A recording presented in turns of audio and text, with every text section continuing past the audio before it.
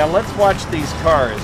You're seeing a lot of distracted driving. It's a great eye-opener to see what people are distracted by. A couple intersections didn't have um, crossing signs. They have signs for a reason. It's a pretty dangerous situation out there.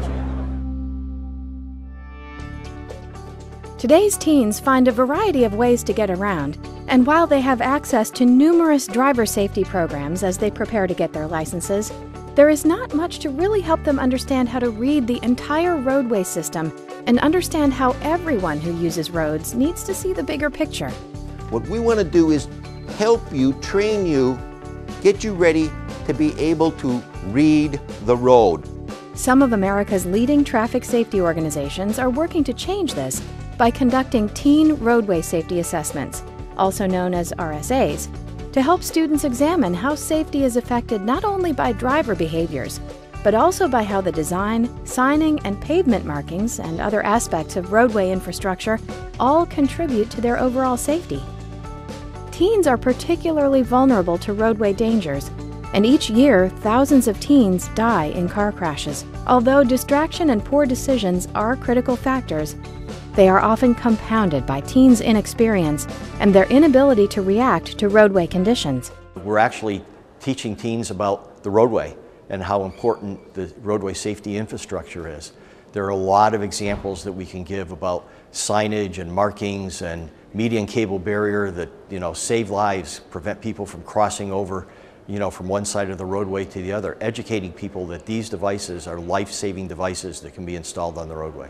This gives you a chance to apply the math skills, the science skills, a lot of civics. One of the things I found great is a lot of these kids are interested in communications and media.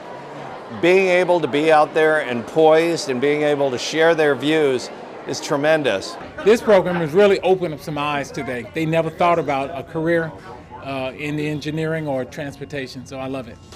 The success of the initial teen roadway safety assessments has led to a call for taking the program nationwide. Organizers of the initial RSA events encourage others in the traffic safety community to get involved with this groundbreaking program. It's an easy formula to replicate on the local level, and your sponsorship of a teen RSA can bring a host of benefits. But it's really up to other people at the grassroots level working hard every day to bring about those changes in the education in transportation safety. So let's see, it says time remaining to finish crossing. This is a very highly trafficked area and that we need a lot of improvement, especially with the markings on the ground for where people are supposed to cross.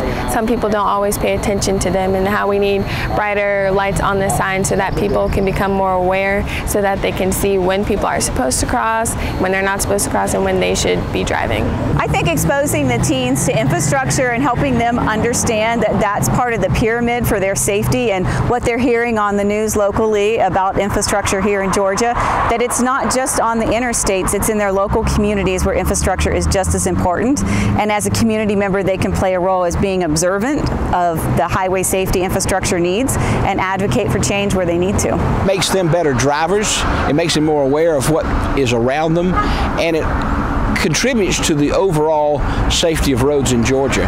And we're glad to have FCCLA's national leadership here today to participate in this and with the, with the Alpharetta High School FCCLA chapter. RSAs allow parents, teachers, elected officials, and community leaders to help improve roadway safety, particularly for our teens. Ultimately, this program is about keeping our teens safe. You can be part of making that happen and making a difference in students' lives. Bottom line is, I believe in my heart we saved some lives today. I feel like this should be in other schools too.